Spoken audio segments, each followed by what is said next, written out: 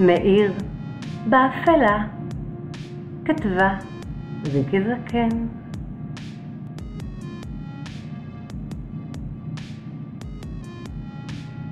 באפלה ישב מאיר וחשב מה לעשות. מאיר לא רוצה באפלה להיות.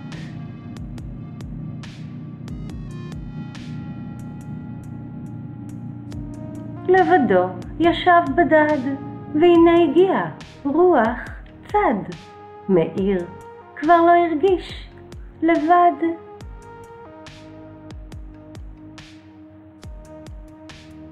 הוא ישב בפינה מקופל, חשב איך החושך יכול לעשות אותך קטנטן.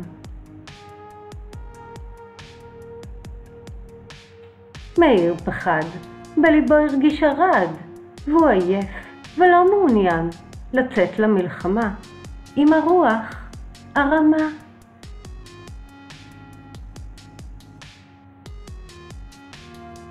וכאשר מאיר שותק, גם הרוח נדמה, רק פעימות הלב שוברות את הדממה.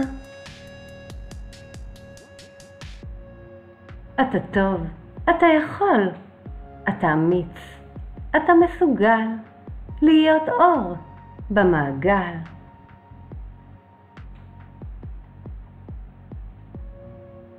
כי האור בלב שלך מבצבץ מתוך עיניך ומאיר באפלה, דרך פרחונית וסלולה.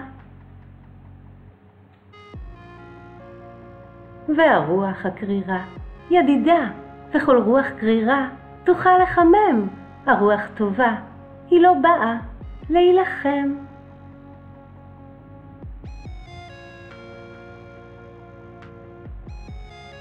הרוח נעה, מניעה ומעוררת את הדממה, שוברת.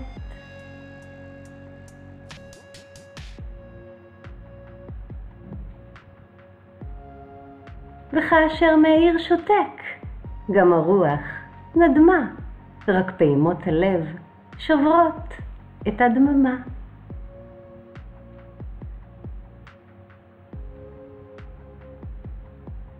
אתה טוב, אתה יכול, אתה אמיץ, אתה מסוגל להיות אור במעגל.